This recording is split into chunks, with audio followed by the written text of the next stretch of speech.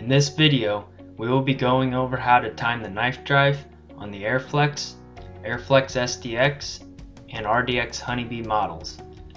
Timing should be checked after any of the knife drive components have been disassembled or replaced. If needed, disconnect the drive shaft from the knife drive to allow you to rotate the drive assembly more freely. Turn the drive and install a half inch bolt or rod through the alignment hole of the flywheels.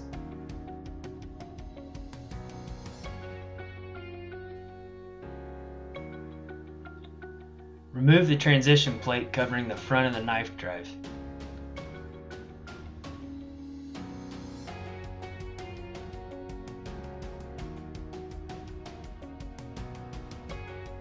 Loosen the drive arm jam nuts using a 1 and 1 8 inch crow's foot.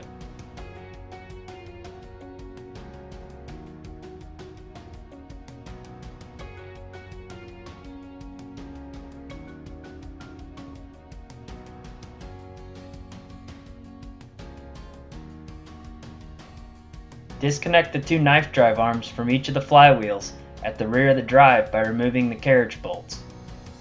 Adjust the knife drive arm links until the bell cranks are aligned at the front of the drive. This can be checked with a straight edge. Once aligned, turn the right hand arm an additional three turns clockwise.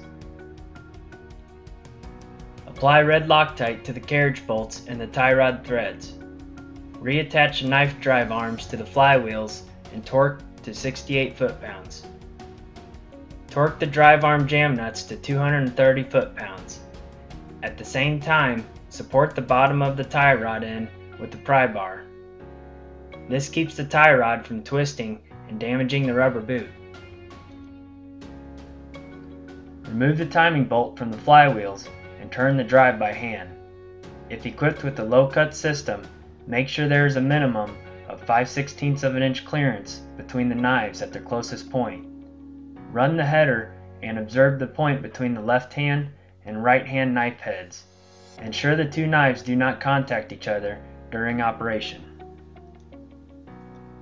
The standard cutting system uses an overlap design. The timing procedure is the same for both standard and low cut options. Reinstall the transition plate and pull it as far forward as possible before securing it in place.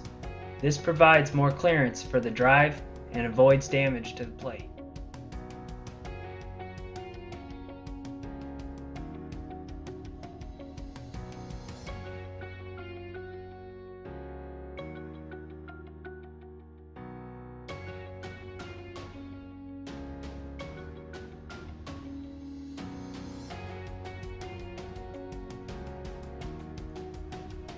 There's a quick overview on how to adjust the knife drive timing on the Honeybee Airflex, Airflex SDX, and RDX models.